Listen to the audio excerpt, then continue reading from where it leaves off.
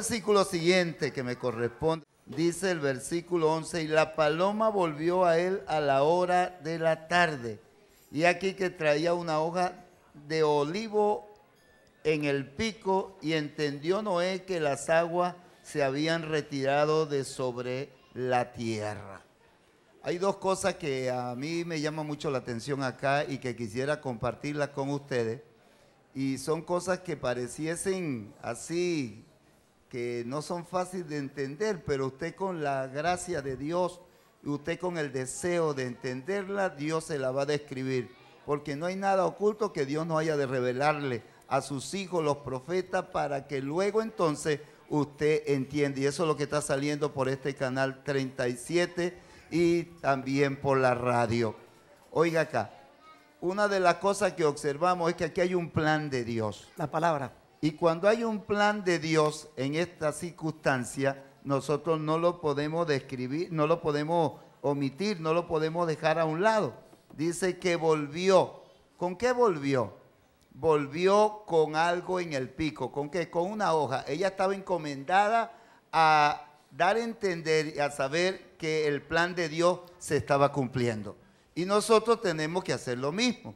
A donde quiera que nosotros vamos, tenemos que regresar con respuesta, identificando que el plan de Dios se está cumpliendo. Y es lo que está sucediendo acá.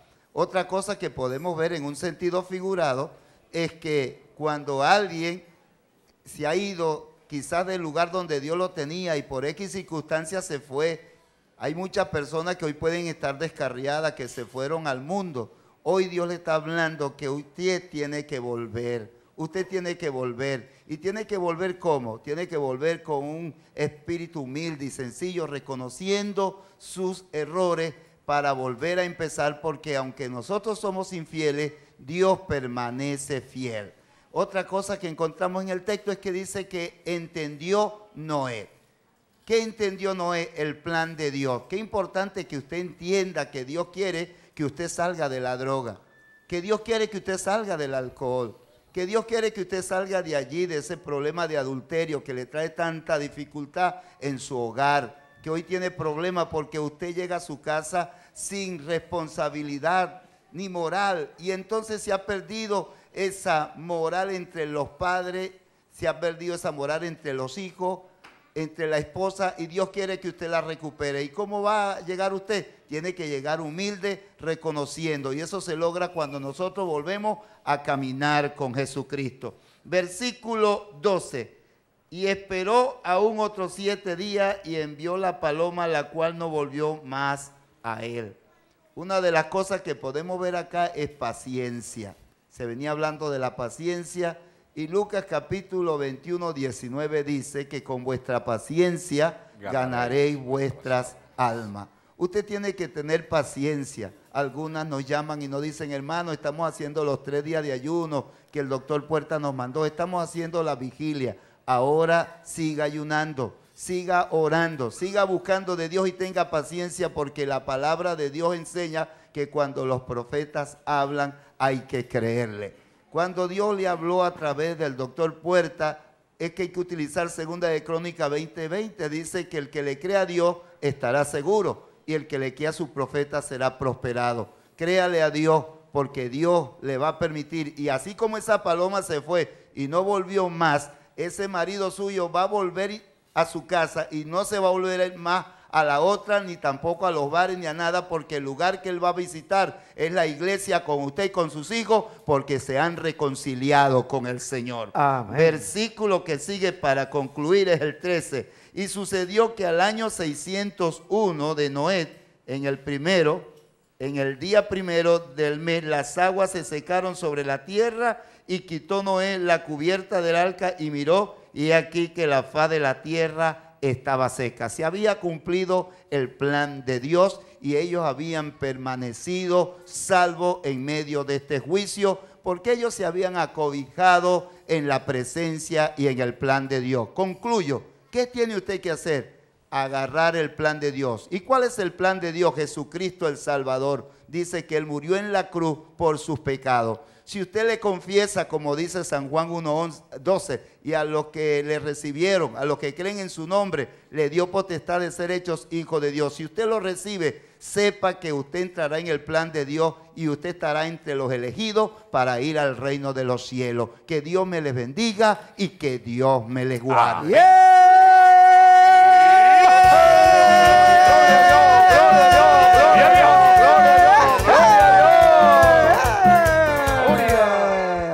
Adelante, hermano Pedro. Gloria a Dios. Que Dios nos bendiga y que Dios nos guarde. Amén. Bueno, aquí estamos viendo este, esta historia con un comienzo, con un avance, con una terminación. Dice pues, gloria al Señor, en el versículo 14. Dice, y en, y, En el gloria a mes. Dios. Y en el mes segundo, a los 27 días del mes, se secó la tierra. Ese es el primer versículo, gloria a Dios. Dice que en el mes segundo, de lo que ya se habló de, cinco meses, ¿no? Gloria al Señor. Entonces dice que en el mes segundo, eh, a los 27 días, lo que hacemos allí, un- una fecha, eh, va, va hablando de una fecha, llevando una fecha normal. ¿Para qué se escribe esa fecha como si no tuviésemos eh, otra cosa, una fecha allí? Bueno, es importante la fecha para que eh, acordemos todas las cosas como comenzaron. Ayer estaba hablando con una persona, eh, predicándole la palabra, y él me dijo, usted tiene algunos días en el Evangelio. Le dije, bueno, he tratado de recordarme el día que Dios me sacó de este mundo de maldad. Le dije, le di la fecha, pues, porque como me la me exigió. Le dije, bueno, yo me entregué al Señor, o sea, Dios me encontró en la perdición el día eh, 6 de enero del año eh, 75 a las ocho y media de la noche. Algunos me han preguntado, hermano Pedro, ¿y por qué usted se acuerda todo eso? Y yo dije, porque quiero ser agradecido. Y tengo la fecha en mi mente escrita el día que Dios tuvo misericordia de mí y me sacó de allí. Aquí vemos pues a, a Dios pues llamando a, a reflexión a Noé, le da la fecha, dice allí que al mes segundo, pues a los 27 días del mes, se secó la tierra y dice que el versículo 15, entonces habló Dios a Noé diciendo, gloria a Dios, eh, una de las cosas que tenemos que esperar nosotros es oír la voz de Dios para podernos mover de una parte a otra y aún aquí para salir. Eh, Noé estaba tranquilo, a lo mejor ya se habían secado la tierra, pero él estaba tranquilo allí en su, en su sitio y Dios le llamó desde el de allí el arca y le dijo, sal del arca, tú, tus hijos, tu mujer y tus hijos y las mujeres de tus hijos y salieron. Amén. Gloria a Dios. Dios nos está mandando en este día, hablando acá en este término, hablando acerca de tenemos que salir. Dios le dijo a Abraham, sal de tu tierra y de tu parentela y de la casa de tu padre a una tierra que te mostraré. Gloria a Dios, a nosotros nos ha mostrado el cielo y para allá vamos con la ayuda de Dios. Amén.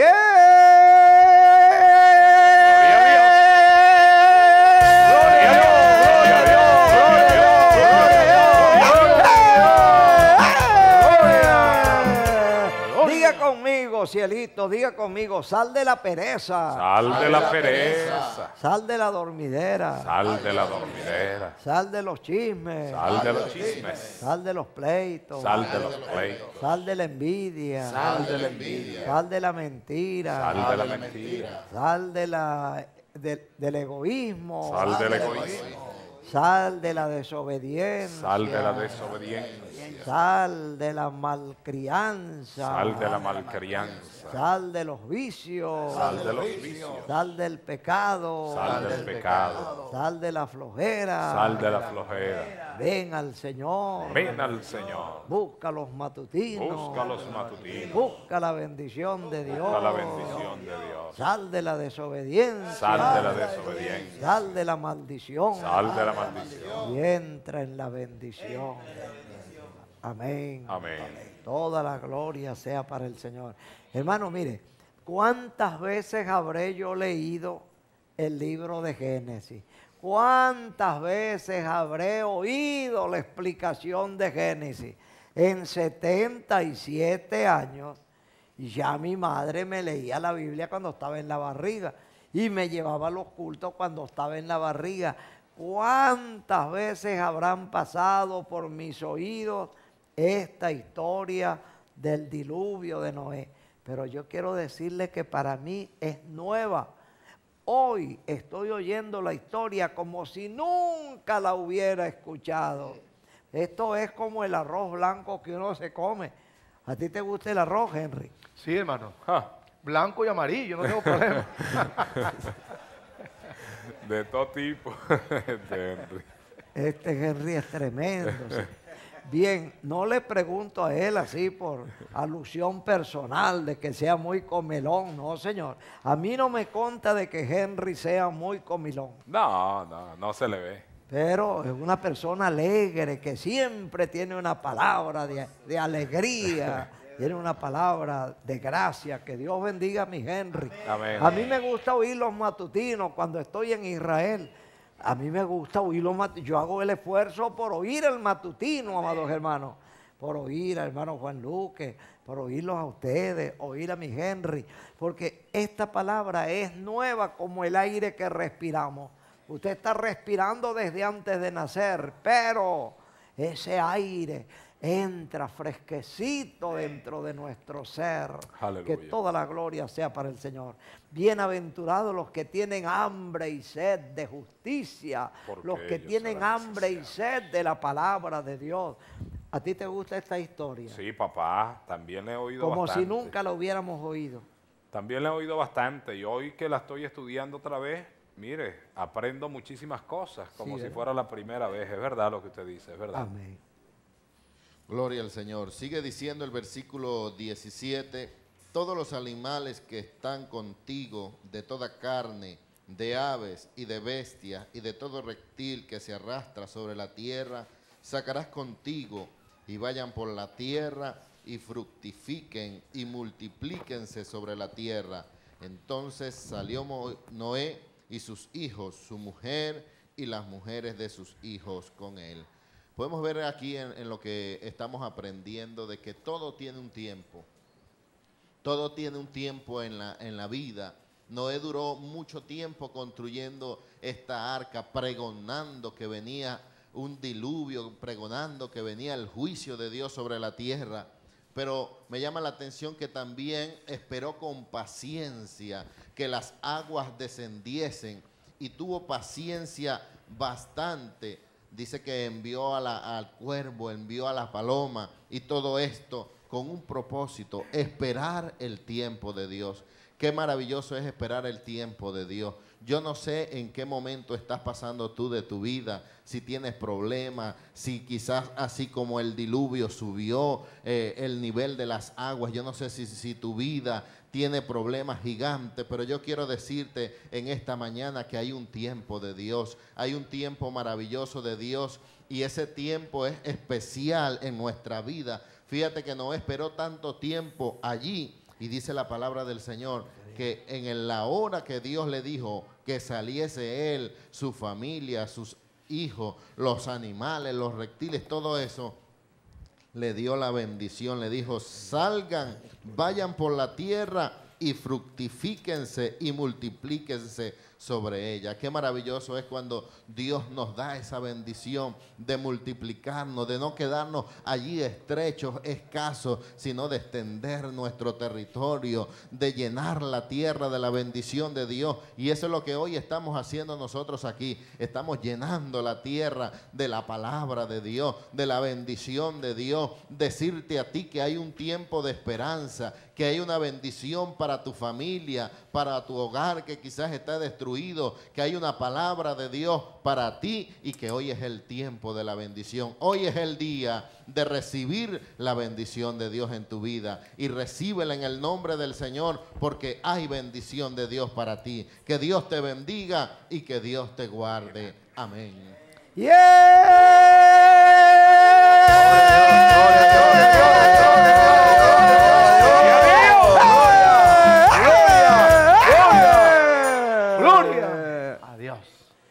Gloria a Dios. Me corresponde leer el versículo 19 y el 20. Dice así, todos los animales y todo reptil y toda ave, todo lo que se mueve sobre la tierra según su especie, salieron del arca. Dice el 20, y edificó Noé un altar a Jehová, y tomó de todo animal limpio y de toda ave limpia, y ofreció holocausto en el altar. Amén. Qué maravilloso, qué importante es esto, ¿no? La actitud de Noé después de salir del arca, después de que pasa ese, eh, ve- vio, de, de ver, de- después de ver Dios, o sea, la mano de Dios obrando, que le preservó la vida durante el diluvio, 40 días y 40 noches lloviendo, viendo agua durante 150 días, dice acá, 150 días. La actitud de Noé fue edificar un altar al Señor. Cuando él baja del arca y vio que está vivo él y su familia y los animales que tenía allí, lo que le viene a la mente es hacerle un altar al Señor. ¿Por qué un altar? Porque dice la Biblia que no era un hombre que caminaba con Dios, él caminó con Dios, era un hombre justo, era pregonero de justicia. Y el creyente cuando eh, camina con Dios, cuando entiende, cuando sabe quién es Dios, que conoce a Dios, siempre vive en comunión con Dios. Nunca pierde la comunión con Él. Si no importa el problema, no importa por dónde esté pasando, pero siempre mantiene un altar. El altar es el lugar donde Dios se presente. El, lugar es eh, el altar es el lugar de comunión con Dios. Recuerde que Dios hizo al hombre para eh, estar con Él, para vivir con Él. Pero a través del pecado entonces hubo separación. Ahora, hoy tenemos nosotros el lugar de comunión es la oración. Es la forma de nosotros vivir siempre en comunión con Dios. La Biblia dice que es la forma de vivir, es orar, orar. Y aquí la actitud de, de Noé nos da un ejemplo a nosotros. Hay personas que Dios los ha librado de, de la muerte, tal vez a través de un accidente, a través de una enfermedad. Y en vez de hacerle un altar a Dios, en vez de buscar a, Dios para agradecerle, le hace un altar tal vez a un santo de esos que ellos creen que sanan. Hoy estaba mi hermano Puerta mencionando los espíritus de la sabana. Después que los libra de, de una enfermedad tan terrible, entonces van a hacerle un altar a buscar a- al espíritu de la sabana. Eh, no, eso no sana, el que sana es Jesucristo. Hay que agradecerle a Dios. Hay que vivir siempre agradecidos con Dios. ¿Cómo le agradecemos a Dios? Cuando nosotros hacemos un altar para el Señor. Que le vamos a traer, dice acá, que tomó de todo lo limpio y de toda ave limpia y ofreció el holocausto al Señor. ¿Qué significa eso? Significa que nuestra oración, el sacrificio que le ofrecemos a Dios tiene que ser algo puro, algo que venga de una conciencia limpia, de un corazón limpio. Por ahí hay un texto que dice que la oración eficaz del justo puede mucho. ¿Yo qué se refiere a eso? A una oración que salga de un corazón completamente entregado al Señor, un corazón limpio, un corazón arrepentido. Eso es lo que significa una oración eficaz. Y eso es lo que Dios quiere. Que lo que le ofrezcamos a Dios en este altar sea una cosa que a Dios le agrade. Más adelante vamos a ver qué fue el, fruto, qué vio Dios a través de este altar. Que Dios los bendiga, hermano. Gloria a Dios, gloria a Dios, gloria a Dios, gloria a Dios, ahora la segunda lección del matutino. Ubique su Biblia en Jueces, capítulo 6. Estaremos estudiando desde el versículo 1 hasta el 16. Jueces, capítulo 6, versículo 1 al 16. Y vamos a pedirle a nuestro hermano Levi García que nos dé lectura a la palabra del Señor. Levi. Aleluya. Dale, dale, dale. Levi. Que Dios les bendiga. Amén. Los hijos de Israel hicieron lo malo ante los ojos de Jehová y Jehová los entregó en manos de los madianitas por siete años. Y la mano de Madián prevaleció contra Israel y los hijos de Israel por causa de los madianitas. Se hicieron cuevas en los montes y cavernas y en lugares fortificados. Pues sucedía que cuando Israel había sembrado, subían los madianitas y amalecitas y los hijos del oriente contra ellos subían y los atacaban. Y acampando contra ellos destruían los frutos de la tierra hasta llegar a Gaza y no dejaban que comer a Israel, ni oveja, ni bueyes, ni asno, porque subían ellos y su ganado y venían con sus tiendas en gran multitud como langosta. Ellos y sus camellos eran innumerables, así venían a la tierra para devastarla. De este modo empobrecía Israel en gran manera por causa de Madián y los hijos de Israel clamaron a Jehová. Y cuando los hijos de Israel clamaron a Jehová a causa de los madianitas, Jehová envió a los hijos de Israel un varón profeta, el cual le dijo, así ha dicho Jehová, Dios de Israel, yo os hice salir de Egipto, os saqué de la casa de servidumbre, os libré de mano de los egipcios y de mano de todos los que afligieron, a los cuales eché de delante de vosotros y os di su tierra. Y os dije, yo soy Jehová vuestro Dios, no temáis a los dioses de los amorreos, en cuya tierra habitáis, pero no habéis obedecido a mi voz. Y vino el ángel de Jehová y se sentó debajo de la encina que está en Ófara, la cual era de Joás Abieserita, y sus hijos Gedeón estaba sacudiendo el trigo en el lagar para esconderlo de los madianitas. Y el ángel de Jehová se le apareció y le dijo, Jehová está contigo, varón esforzado y, Y valiente. valiente. Padre, gracias por esta palabra. Bendice, Señor, ahora tu siervo. Utilízalo de tal manera que aquellos que tienen necesidad en esta misma hora reciban, Señor, el suplir de tu bendita bendición. En el nombre de Jesús. Amén y amén. Que toda la gloria sea para el Señor. Este pasaje confirma que aun cuando nosotros seamos infieles, Dios permanece fiel. Amén. No puede negarse a sí mismo. Él cumple sus promesas. Dios ha dicho en su palabra, dígalo conmigo, clama a mí. Clama a mí. Yo te responderé. Y yo te responderé. Y te enseñaré cosas grandes. Y te Y te enseñaré cosas cosas grandes grandes y ocultas, y ocultas que tú no conoces. que tú no conoces. Clama a mí. Clama a mí. a mí. Clama a mí. Clámale a Dios. Clámale al Dios vivo. Clámale al Dios vivo. Hay gente que le claman al sol. Hay gente que le claman a la luna. Hay gente que le claman a las estrellas. Hay gente, amados hermanos, que les claman a los elefantes. La tierra de mis antepasados es la India. Yo he estado en la India. Ay, hermano querido, esa gente le oran hasta las culebras, hasta los monos, a todo el ejército del cielo.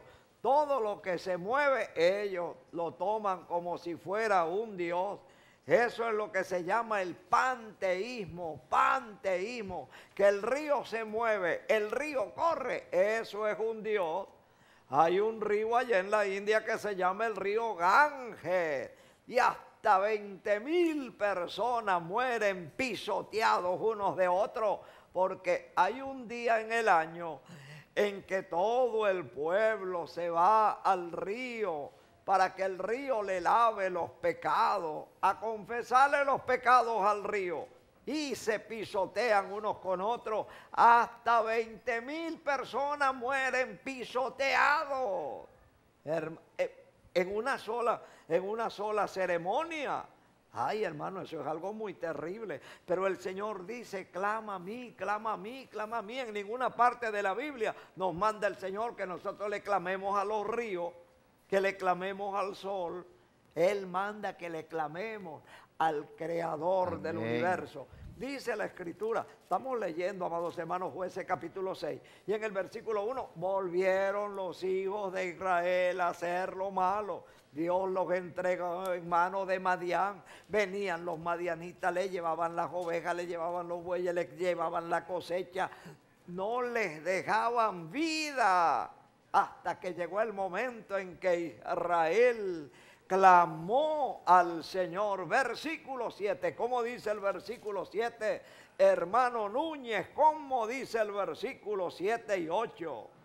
Y cuando los hijos de Israel clamaron a Jehová a causa de los medianitas, Jehová envió a los hijos de Israel un varón profeta, el cual le dijo, Así ha dicho Jehová Dios de Israel, yo os hice salir de Egipto y os saqué de la casa de servidumbre. Os libré de mano de los egipcios y de mano de todos los que os afligieron, a los cuales eché delante de vosotros y os di su tierra. Y os dije, ¿cómo les dijo él, hermano Jesús la arriba? ¿Cómo les dijo él en el versículo 10? Dice, yo soy Jehová vuestro Dios, no temáis a los dioses de los amorreos, en cuya tierra habitáis, pero no habéis obedecido a mi voz. Y por no haber obedecido a la voz del Señor, hermano Franklin, ¿qué sucedió con ellos en el versículo 11?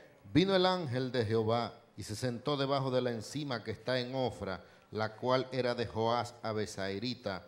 Y su hijo Gedeón estaba sacudiendo el trigo en el, palma, en el lagar para esconderlo de los madianitas. Y el ángel de Jehová se le apareció y le dijo, cuando ellos clamaron, el Señor mandó su ángel con la respuesta. Fíjate esto. Y le dijo, ¿cómo le dijo en el 12, mi Juan? Jehová está contigo, varón esforzado y valiente.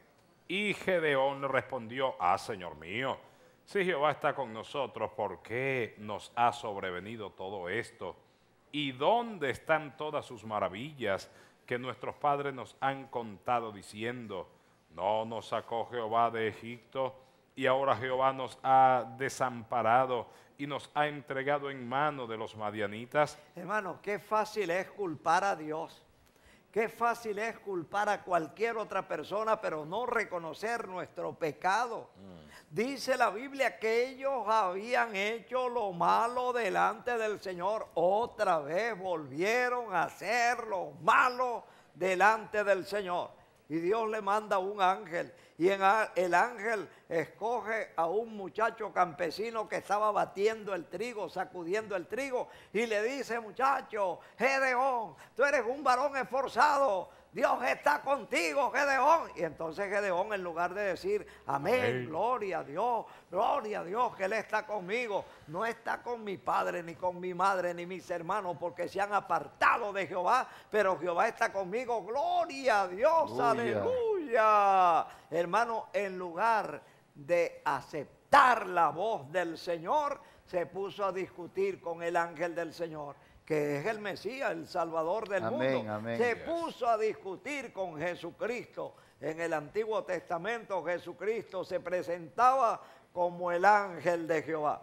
Le está hablando Dios, le está diciendo, Dios está contigo, Gedeón. Y él, ah, si Dios está con nosotros, ¿por qué, por qué nos vienen estas desgracias?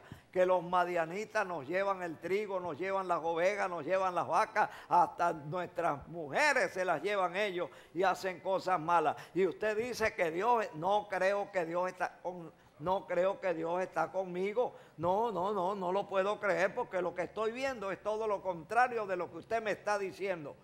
Hermano, cuando Dios habla hay que decir amén. Amén. Amén. Amén. Amén. Si a ti se te presenta el ángel del Señor y te dice, Juan, Dios está contigo. Oh, me alegro mucho y digo amén, qué bendición. Te claro vas a poner sí. a pelear con Dios. No, bueno, y si Dios está conmigo, ¿por qué se, se, se cayó? ¿Por qué se cayó el, el tubo de agua allá en el río Guanari y nos quedamos sin agua durante un mes? Y, y- y usted dice que Dios está con nosotros. Ay, ¿por qué? ¿Y por qué se nos rompió el tubo de agua? ¿Qué tiene que ver el Ah. tubo de agua contigo, mi Juan? El Señor te está hablando a ti, no está hablando de tubo de agua, no está hablando de los pecadores. Está hablando con un joven temeroso de Dios que buscaba al Señor y el Señor le manda un mensajero a él y él en lugar de recibir el mensaje se pone a discutir con el Señor. No, yo no creo que el Señor está conmigo. Si estuviera conmigo, ¿por qué nos ha venido esta cosa tan mala?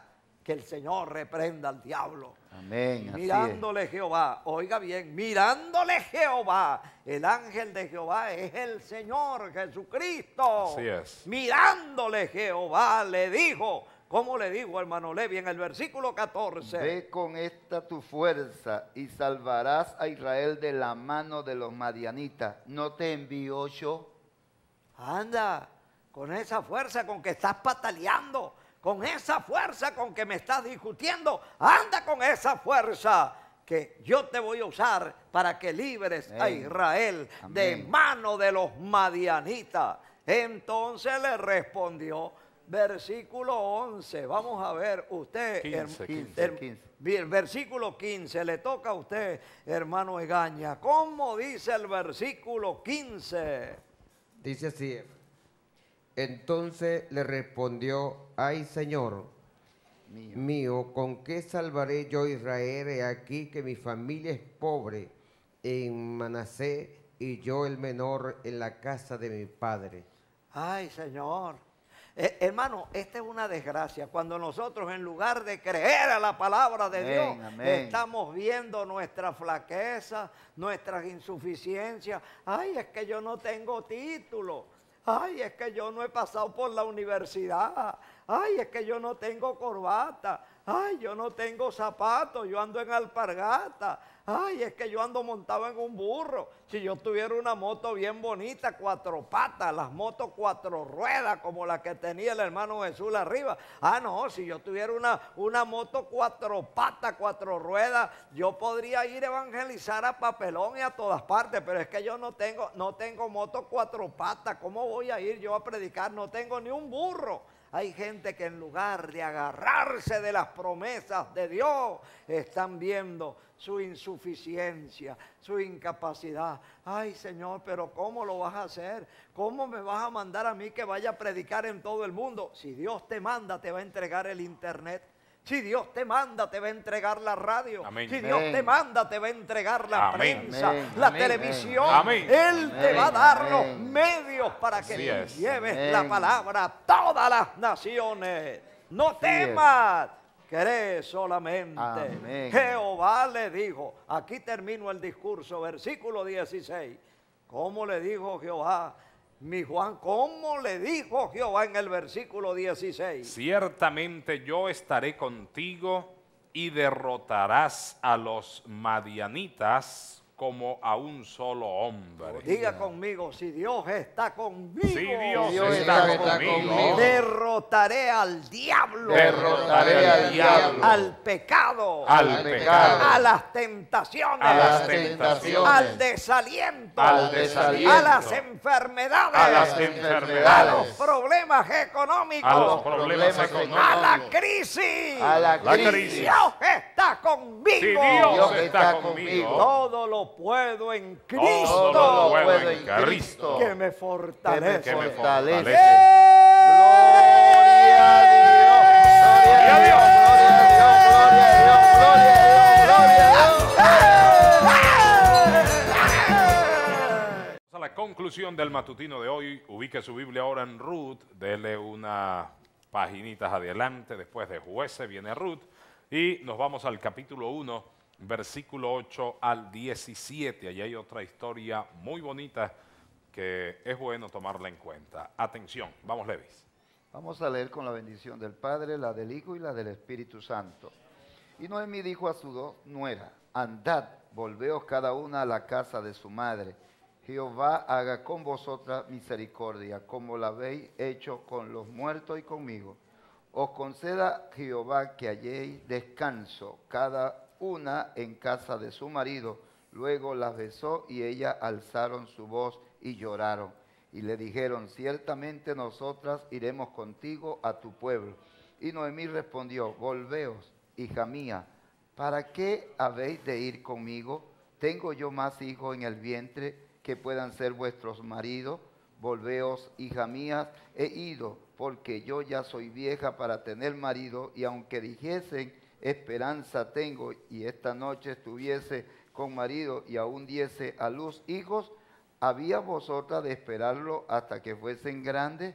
¿Habíais de quedaros sin casa, sin casar por amor a ellos? No, hija mía, qué mayor amargura tengo yo que vosotras, pues la mano de Jehová ha salido contra mí. Y ellas alzaron otra vez su voz y lloraron. Y Orfa besó a su suegra, mas Ruth se quedó con ella. Y Noemí dijo, he aquí, cuñada se ha vuelto a su pueblo y a sus dioses. Vuélvete tú tras ella. Respondió Ruth, no me ruegue que te deje y me aparte de ti, porque donde quiera que tú fueres, iré yo, donde quiera que viviere, viviré. Tu pueblo será mi pueblo y tu, Tu Dios, Dios, mi Dios. Dios. Padre, te doy gracias por esta palabra. Permita que esta palabra sea una palabra de amor, una palabra llena de potencia, Señor, para darle liberación a aquel que está atado, porque estos matutinos han sido de bendición y siguen siendo de bendición. Utiliza tu siervo en el nombre de tu Hijo Jesucristo. Amén y amén. Toda la gloria sea para el Señor. Amén. Hay una gran diferencia entre el sol y la luna, la luz y las tinieblas, el bien y el mal.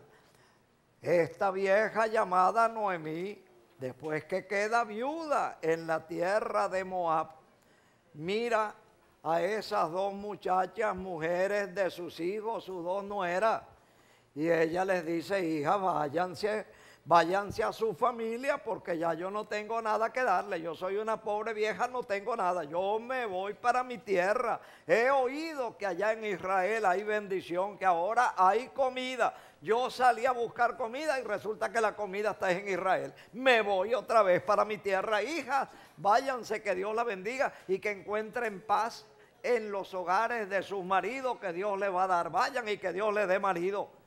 Hermano, las dos mujeres, versículo 14. Las dos mujeres en el versículo 14.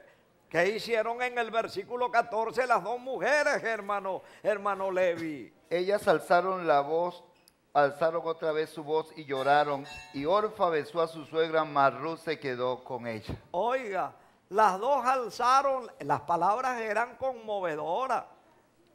Ellas alzaron la voz y lloraron.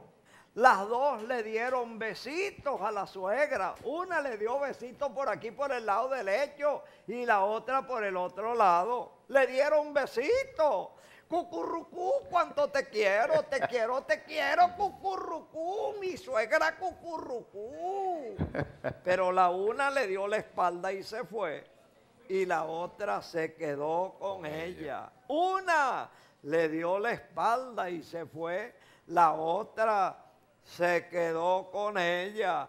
Y cuando Noemí vio que se fue Orfa y se quedó Ru, ella le dijo a Ru, ¿cómo le dijo a Ru, mi Juan? En He el aquí 15. tu cuñada se ha vuelto a su pueblo y a sus dioses, a sus dioses. Vuélvete tú tras ella. ¿Qué estás esperando? Tu concuñada se fue, volvió a su casa, a su familia y a sus dioses. ¿Qué estás esperando? Vete tú también. Ay, hermano querido, pero esta muchacha tenía un corazón muy grande. Amén. Esta muchacha amaba la bendición. Esta muchacha sabía que aunque esa vieja no tenía dinero ni posibilidad de seguir teniendo hijos para, para dárselo a ella como marido cuando creciera, ella sabía que esa vieja tenía la bendición de Dios. Esa vieja representa al pueblo de Israel. Amén. El pueblo de Israel es bendición. Amén. Amén. Cierre fila con el pueblo de Dios y usted vivirá en bendición. Amén. Hermano, la vieja le dice a Ru, Ru, ya, ya tu concuñada me dio el besito y se fue. Tú me diste el besito, lo que falta es que te vaya. Vete, Ru. Ay, hermana, pero Ru, Ru le dijo unas palabras tan lindas que esa broma le tocan el corazón a uno. Ru, en el versículo 16, yo me lo sé de memoria. Mire, le dijo así, no me ruegues que te deje ni que me aparte de ti. Digan conmigo, no me ruegues que te deje, No No me me ruegues ruegues que que te te deje. deje. ni que me aparte de ti. Ni que que me me aparte aparte de ti. Porque donde quiera que tú vayas, Porque Porque donde quiera que tú vayas, iré yo. Iré yo. yo. Donde tú vivas, Donde tú que vivas, viviré yo. viviré yo. Tu pueblo será mi pueblo. Pueblo Pueblo será mi pueblo. Y tu Dios será mi Dios, Dios. Tu Dios será mi Dios. Solo la muerte Solo la muerte hará separación hará Hará separación entre tú y yo. entre tú y yo. Donde tú mueras, Donde tú tú mueras, mueras, moriré yo. moriré yo. Y allí seré sepultado. Y allí seré seré Ay, sepultado. hermano, eso le abrió las ventanas de los cielos y trajo una bendición tan grande sobre esa muchacha. ¿Por qué les estoy hablando de esto hoy? Hermano, porque mañana el primer ministro de Israel, lo que sería en cualquier país el presidente, mañana el presidente de Israel, el primer ministro de Israel, Bibi Netanyahu, mañana comienza una congregación en su casa, un estudio bíblico en su casa. Mañana el primer ministro de Israel va a estar enseñando esto que estamos nosotros estudiando desde ayer. Él lo va a enseñar mañana. Aquí tenemos a nuestra hermana Luz Marina. Epa, hermana Luz Marina, ¿cómo le parece ese testimonio tan lindo de Ruth? Las dos besaron a la vieja, pero la una se fue sin la bendición y la otra se quedó con ella. Hermano, ¿qué ve usted ahí en esa, en esa historia, herma- hermana Luz Marina? Bueno, gloria a Dios, que Dios me le bendiga. Hermano, puedo ver allí una gran bendición, pues que esta muchacha pudo obtener esta gran bendición, ya que la otra, la que se fue, no la tuvo, pero ella se quedó y fue de gran bendición para su vida. Es una gran bendición porque en primer lugar se propuso a honrar al Dios que honraba allí Noemí. No les estamos hablando de religión, le estamos hablando del Salvador Amén. del mundo, Amén. Jesucristo el Hijo de Dios. Ahora le toca a usted hacer lo que hizo Ruth con Noemí, le toca a usted hacerlo con Jesucristo. Póngase la mano aquí en el corazón conmigo, ¡pa!